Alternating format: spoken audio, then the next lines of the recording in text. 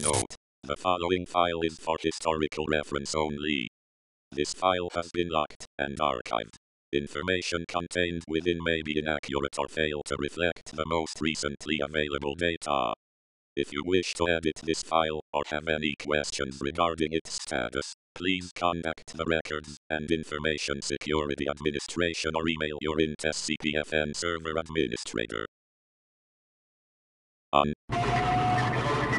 The following errant transmission was received by Foundation personnel. Initiate emergency procedure Patmos Omega. Attention, all Foundation staff.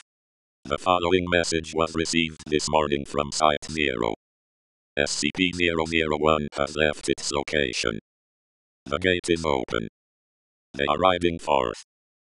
Oh god, it's so beautiful.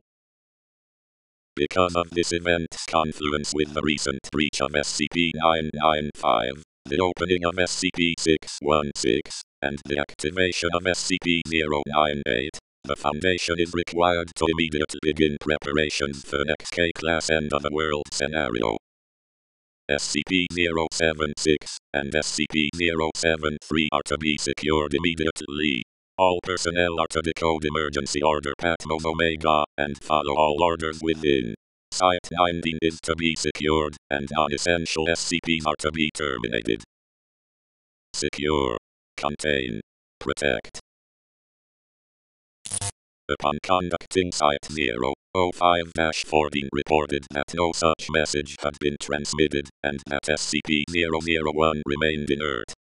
The transmission was revealed to have a timestamp several years in the future.